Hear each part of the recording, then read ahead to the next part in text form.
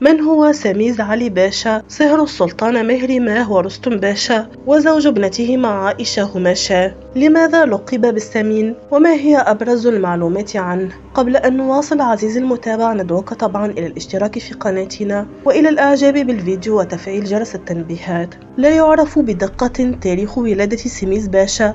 إلا أنه يرجح أنه ولد سنة 1500 أي أنه قد كان أكبر من زوجته عائشة هماشة بأربعين عاما حيث ولدت هذه السلطانة سنة 1541 أي أن زوجها قد كان في سن جدها وجدتها. اسمه في الحقيقة علي باشا إلا أنه عرف بسميز علي باشا والتي تعني بالتركية علي باشا السمين وذلك طبعا لبدانته.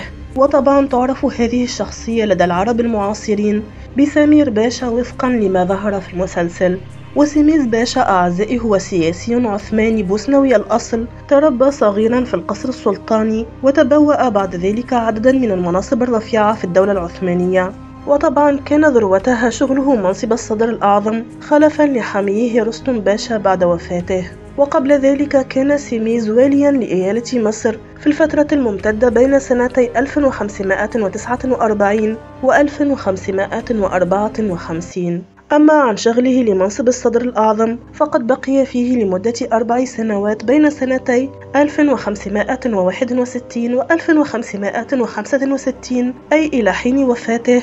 وكان ذلك قبل وفاة القانون بسنة واحدة. دفن سميز باشا في مسجد السلطان مهرماه ودفن إلى جانبه زوجته عائشة همشاه أعزائي هكذا نكون قد وصلنا إلى آخر هذا الفيديو. أتمنى أن يكون قد أعجبكم. وإلى اللقاء في فيديوهات قادمة. تحياتي أنا فردوس حافظ الرشيد. إلى اللقاء.